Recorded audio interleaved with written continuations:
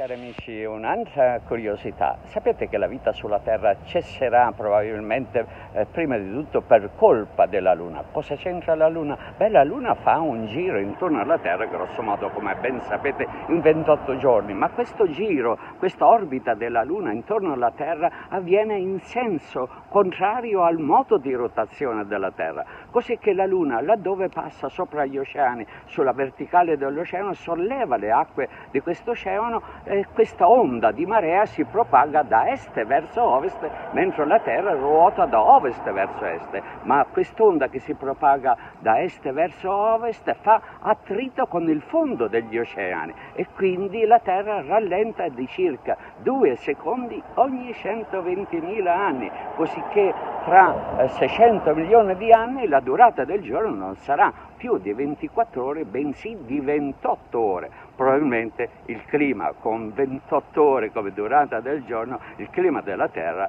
non sarà più vivibile.